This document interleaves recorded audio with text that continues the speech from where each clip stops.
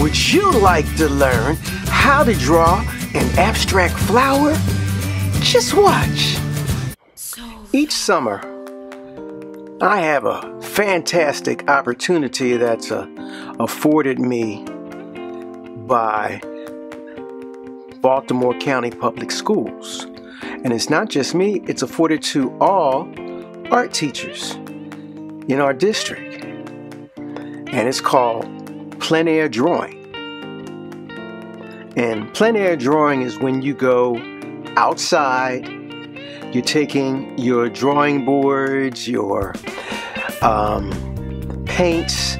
I even have an easel that I've now gotten. I've had years where I've gone out and I've had chairs and shade and uh, I'm pulling a little red wagon to these sites and uh, we spend two days out at parks all around Baltimore and we draw. Some people draw the whole landscape. Uh, some people just do trees and hills and valleys. Sometimes they're houses. One person one day did the sky. It's beautiful. I myself have always been attracted to the flowers. It's, I don't know what it is. It's something about flowers that just really entices me, that pulls me in, that makes me want to step into that world of the flower.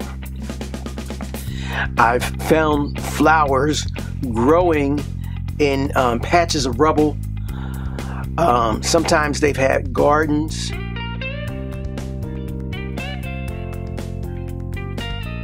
Now, this year was different. This year, we had what we called a virtual plein air, where instead of all of us going to a certain park and meeting, we met virtually, discussed what where we were going to go, and there were about 80 teachers in total. So this was twice the amount that we normally have. And then after that, we would go off to our sites and start doing our plein air painting. Although my painting is normally with pastel, whether it's oil or whether it's soft pastel.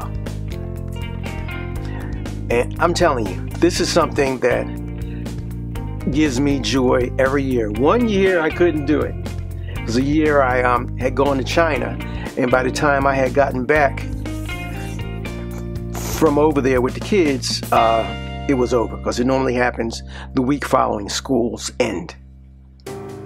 So this year, instead of going to a park, I went to my mother's front yard. My mother has a front yard that has been filled with flowers, and I've even shown you some of these before where I have, um, I think I did some roses one time, but I've just always found these different flowers in her front yard. And this time I found these orange lilies.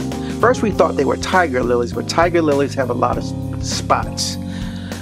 Um, did a little bit more research and found out they're orange lilies. And after doing them, as I would be driving around different areas, I'm seeing them in everybody's yard. I look in my back, my neighbor's yard, she has them growing over there. So I think I'm going to get some bulbs and plant something for next year. Anyway, I, I love these lilies, and it's not just because of the bloom. It's because of the actual leaves that happen below the long stem of the lily. And it creates this interesting positive and negative shapes that intertwine. And as an artist, I've always been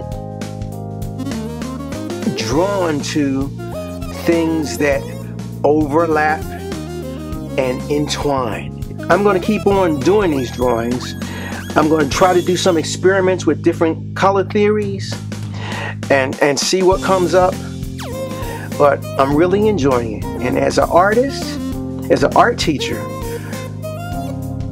we need to do more art. And, and finally, you know, after so many years, I'm coming to a point where I'm seeing a series develop, and I haven't really found a series for years. and I'm talking about many years. I'm not going to tell you how many, but for many years. So I'm enjoying this third painting, third drawing of a series. I'm going to do some more. I will share some more with you. But I hope you enjoy this piece as much as I did. I love the colors. I love the intertwining of the shapes and the lines. And um, let's see where it goes from here. Thanks for uh, coming, see my video. I really appreciate you. Take care. Bye-bye.